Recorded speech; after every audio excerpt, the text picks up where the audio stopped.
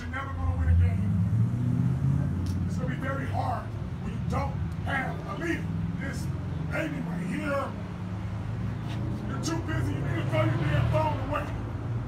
The way we lose it is the second guy never gets back to stop the guy from dunking because you're too scary. All you want to do is score the ball. And then you want to dance with it for 20 minutes before you hit a shot because you're selfish and you don't want to win. I knew you weren't going to win because the leader looking like shit. He's sad, walking. Let me go sleep in the car. Let me sleep. I tell you what, Melvin, you can sleep the rest of the tournament if you want to, son. You ain't got to play. Here, hold the ball because you ain't used to. You ain't used to. You're not a leader. You say nothing to nobody. Throwing up these raggedy ass shots. You make your one little shot here or there, and you think you're doing something. You let us be out by 20 points, 30 points, but you're going to walk. Then y'all want to play at the end, which is too late. I didn't think I had to tell you guys to play hard. I didn't think I had to play you until you play hard. But you're not used to perfection. That's why you ease up. You don't have enough heart to bring your ass to finish this game. You don't have enough heart to finish the game. First of all, you don't play for each other.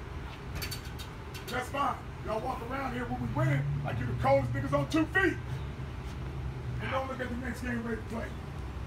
Give up 100 people, don't pick up defense. Your ass supposed to be the second one back. You like, shit. They pass it over there, your ass still over here. Look. You are the weakest link we have on defense on the fact that you don't move. But you'll look. You got some good ass eyes. And until you learn to be like your brother and play both ends, you're gonna be sorry as hell. There's gonna be a little highlight film, and you don't have enough of this killing. You don't have enough of I don't see it. Games are supposed to be won, that boy Lonzo go get him. You just a flash in the pants. And you worry about that shooting, then leave that damn shoe alone. Get it off your foot. Cause I'd try to hide in that shoe too if I was you. Cause you ain't doing nothing but lay down your team, son, and you don't give a fuck about this shit.